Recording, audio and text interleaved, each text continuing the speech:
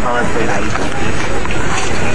Aquí les voy a mostrar esta iglesia que se llama la iglesia San Ignacio Loyola. Esa iglesia se dio al culto en 1635 y se trabajó hasta 1749 en que se suspendieron las obras porque fueron expulsados en el año de 1767. La anécdota de eso, el arzobispo era un jesuita de apellido Cipriano Mosquera y el presidente era Tomás Cipriano de Mosquera. Eran hermanos y ese señor ayudó a echar a este.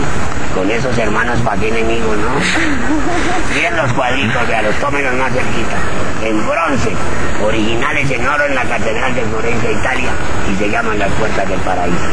Porque ese es el gran palacio arzobispal. Lo que pasa es que la viejita que los dice es así grande y no alcanza a limpiar sino hasta el tercer cuadro. Sí, Para arriba nada. se ve, se ve. Bueno, ya le dijeron el alquiler. Esos son dos cuadritos y se acordó de mí, señorita. Claro que sí, no te soy usted. Así me gusta que no me olviden. En ese último edificio de las barandas, a la izquierda, sí que parece un parqueadero, ahí asesinaron a Jorge Díaz de Gaitán, el 9 de abril de 1948. El famoso Bogotazo. Le echaron la culpa al primer pendejo que pasó, Juan Roa Sierra, y usted sabe que no fue. Son los grandes, porque siempre que sale bien para el lo desaparece. Y aquí vamos a llegar a la noche de es la famosa casa de Manuelita Sáenz. Ella era la amante de Simón Bolívar y se llama la Libertadora el Libertador. Porque el 25 de septiembre de 1828 venían a matar a Bolívar de arriba ya en la segunda bandera. Ella se dio cuenta y se votó por este balcón.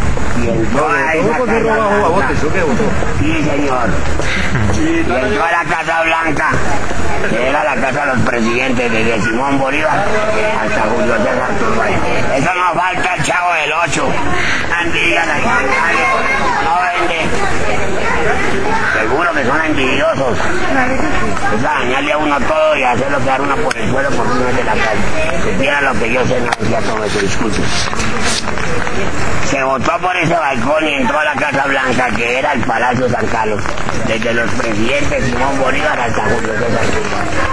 Entró a esa ventana que les voy a mostrar en latín y abrió esa pieza como era el amante le dijo, papito, dame el último besito, váyase que lo van a matar.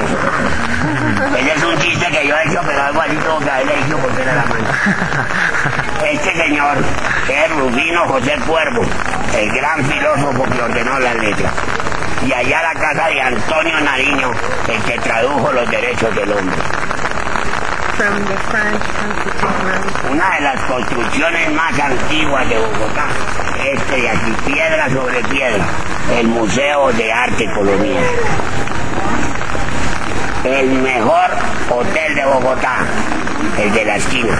Ningún Hilton, ningún Tequendama, el hotel de la ópera. Ahí vale una noche 150 dólares. Para quedarse unos dos mesecitos. Miren, casa de Margarita Sáenz. La Libertadora, el Libertador, ella era de Quito, Perú. Wow. Y ella ya era. De Quito, Perú. Ya vamos a acabar, quedan cuatro o cinco cositas.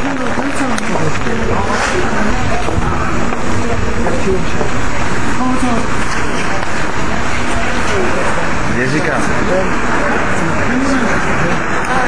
Palacio de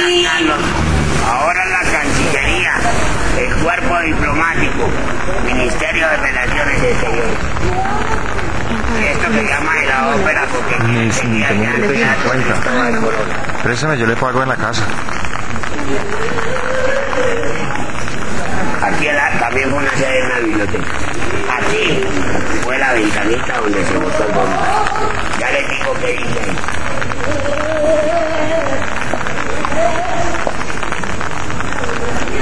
Y este se llama de la ópera porque aquí está el gran teatro Cristóbal Colón.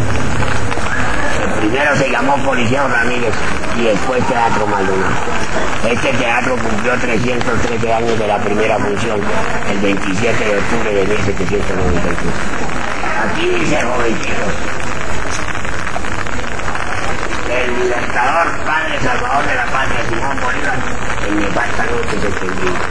1500, 600, 700, 800, 10, 20, 25, 30, 28. pueblos a todos. Este palacio San Carlos que era de los presidentes, ahora es el cuerpo diplomático, Ministerio de Relaciones Exteriores. Eso que ven ahí es un regalo que le hizo Portugal a Bogotá al cumplir 450 años siendo alcalde Andrés Pastrana.